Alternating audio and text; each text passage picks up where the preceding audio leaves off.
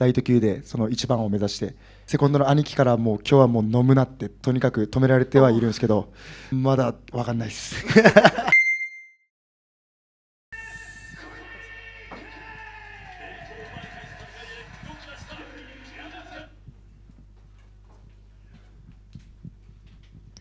えーそれでは堀江選手の試合後インタビューを始めたいと思います。よろしくお願いします。よろしくお願いします。試合後の率直な感想をお聞かせいただけますでしょうか？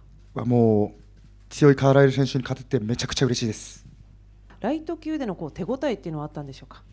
そうですね、えっと、まず自分が元気で動けたっていうのが一番ああってあとカーライル選手のこうフィジカルだったりこうタックル押し込んでからのこうテクニックだったり体の重さだったりそういうのは感じました。